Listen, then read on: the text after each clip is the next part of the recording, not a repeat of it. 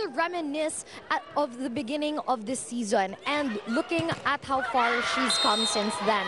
Zell told me that she's learned this season Replay that the official wanted to See, see. actually, yes. that's true. Pwede rin kasi ang magsisimula ng video challenge is the official himself. In any case, it did go the way of UE. But Ateneo still with a one-point lead. Back row attack to Guzman. Tulis nun. When it's 1-1, it feels like zero, like you just started. That's a good point. Ayun yung mga sungkit na pinag-uusapan mo. Chance ball here. UE will go again. That bounces back. Good coverage, though, by the Warriors.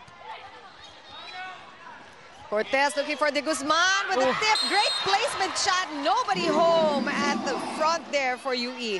Count on Lyann de Guzman to really use her IQ and just give an easy ball, an easy point for her team. She was able to block her there. So Nashima, rebound there for UE. They keep playing now on the offense, and Ateneo is going to send it over. From the middle now, Buhay Pambola.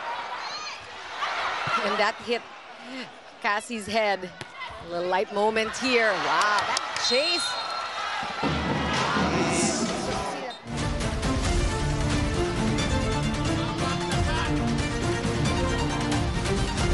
Three. Everybody oh, counting. Oh, yeah, because they're saying it's four touches. However, they're, they the first referee And again, these are things that we don't see very often. So, kung Yeah. yeah. walang president, kailangan makita natin minsan. Ngayon, babalikan at babalikan nila yan kung mangyari uli. And Ateneo just said, we'll gain the point some other way. And I think Lyann de Guzman here getting her groove once again. This time on the right. Oh, a time for an ace. She more than made up for that consecutive errors on the attack. Definitely. And I'm happy that the team So, pati ngayon sa mga unforced errors, nagpapantay din sila dito sa Yes. set. Oh, wow! Solid block. Ateneo's blockers. Lyann already with 50.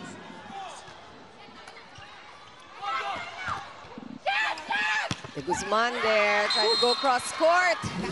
Late in this third set. The spike of the set brought to you by Dunkin' Pasalubong ng Bayan. But the approach uh, very uh, similar, where they want to mentor the girls and really um, work on their fundamentals. Oh, Guzman. Oh, but you have to give credit to Nashima. She was there at the right time. Would have been another point for Crazy Madriaga. That was an exciting one. Crucial ang mga challenge.